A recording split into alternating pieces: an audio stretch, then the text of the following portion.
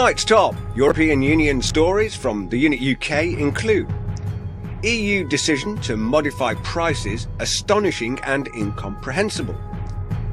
Public debt sets a new record in February, about 980,000 million euros. Hungary receives 24 billion euros in EU funds between 2007 and 2013. And EU lawmakers vote for redesign to make trucks safer and greener. Plus, Europe rejects UK's financial transaction tax challenge. It's Friday, 2nd of May. I'm Rick Timmis, and this is the Unit Nightly News.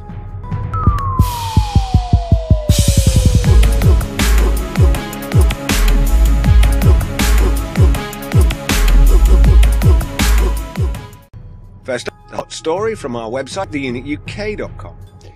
EU decision to modify prices astonishing and incomprehensible. Moroccan Minister of Agriculture and Fisheries Aziz Akhannouch, said the European Union's decision to modify mechanisms of the access price for Moroccan fruits and vegetables is both astonishing and incomprehensible. Moving to modify the access price systems for Moroccan fruits and vegetables is a step backwards on the negotiations that mobilized for a long period of time Moroccan and European officials. Aziz told MAP. We were satisfied over the fairness and balance of the agreement which was signed in February 2012 between Morocco and the EU, but this measure risks to disrupt the balance because of an action that totally contradicts the agreed upon conditions, he went on. The EU is, of course, shifting the sands, so to speak, by manipulating the agreement. This is, however, a common practice to disrupt a market and make it dependent. Similar mechanisms were deployed in the UK to disrupt the dairy industry by manipulating incentives and contracts based upon butterfat quality in milk. Well-timed changes in contract agreements cannot be followed due to production lead times. Penalties then punish the supplier, who quickly becomes financially constricted and can then be exploited because of their dependency. Now, Aziz goes on to say that the relationship of confidence and sustainable partnership is being jeopardized, arguing that the unilateral decision, which concerns two parties linked by an agreement, threatens the Moroccan fruits and vegetables sector particularly tomatoes, which depend on a very constrained export system. The sector risks simply to collapse, he warned, adding, We cannot even imagine the consequences on a Moroccan sector and operators which have invested and believed in serious outlets for fruit and vegetables.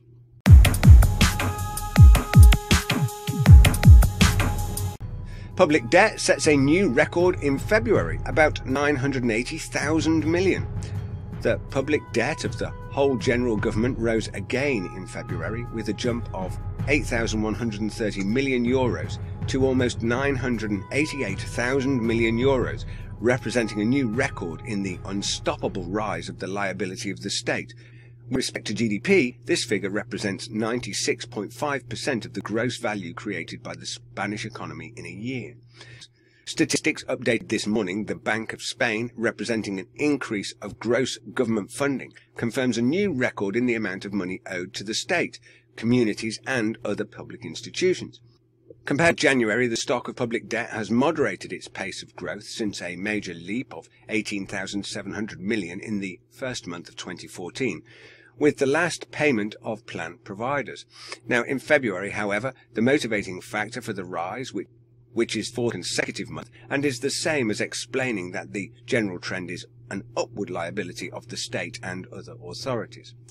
So, what we are seeing is that even with the dramatic austerity measures that have been imposed across every member state, the debt burden continues to spiral. We reported yesterday that the ECB is now considering its own quantitative easing program. As during our table talk discussion yesterday, Doug Coulter demonstrated the interesting timing of this move. The questions we're left with, of course, is if, after all these measures, the EU deficit and debt burden is still increasing, then where do we go from here?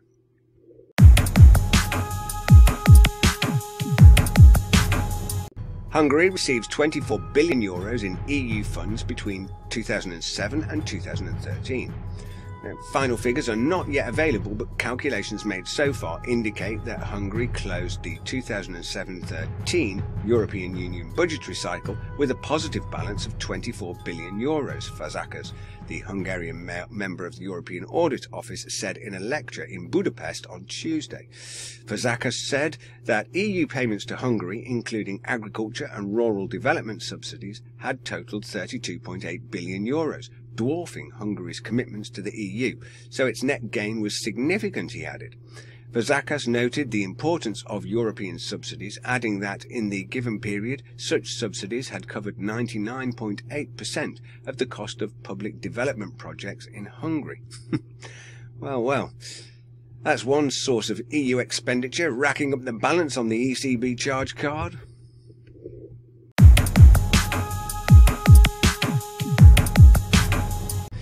EU lawmakers vote for redesign to make trucks safer and greener.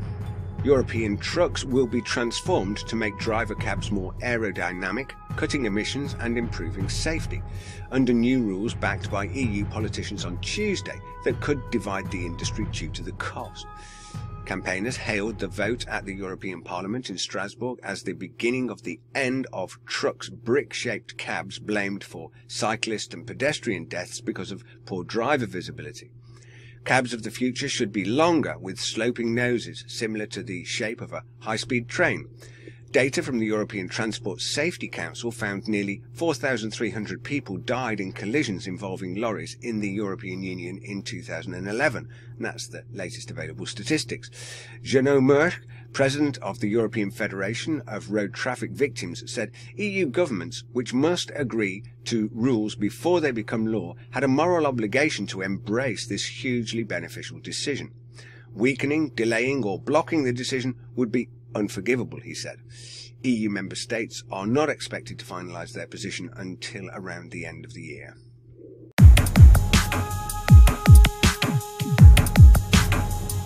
Europe rejects UK's financial transaction tax challenge. Well, folks, here is the perfect example of what we've been talking about for a long time. Interesting timing given the table talk discussion and all the mentions of legal supremacy this week. Now, before we start, let me quote from Foreign and Commonwealth Office Document 301048, which is covered in detail in our film Betrayed. Here's the quote.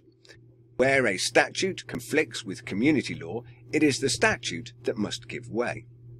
Europe's top court has rejected the UK's challenge to the introduction of an EU financial transaction tax, which ministers have said will damage British firms. The EU's Court of Justice described the UK's challenge as premature since the details of the tax had not been finalised. The FTT will be adopted by 11 EU states but not by Britain. Now the UK said it was prepared to take further legal action. The government is determined to continue to ensure that the interests of countries outside of this single currency but inside the single market are properly protected, a UK Treasury spokesman said. The levy, often described as a Tobin tax or Robin Hood tax, aims to raise public funds and discourage speculative trading by taxing the transactions of shares, currencies and bonds. Of the 27 EU member states, the 11 going ahead with the FTT are Germany, France, Italy, Spain, Belgium, Austria, Portugal, Greece, Slovenia, Slovakia, and Estonia. Those countries had not yet decided how the tax will work, the court said, so the UK's challenge was premature. The City of London could be hit by the tax if, for example, a British firm trades with branches of French or German banks based in the capital. And so after all of the big cheese Dave Cameroni's rhetoric about protecting the City of London and the UK finance industry, now the cornerstone of our economy, well, Dave, you've failed. Your political masters in the Bruswellian Towers of Babel have once again racked you out as being wholly impotent. This story only adds further grist to the mill about who controls and governs Britain, and highlights the message that Trevor Colman MEP put out yesterday. The only question is who do you want to be governed by, Brussels or Westminster?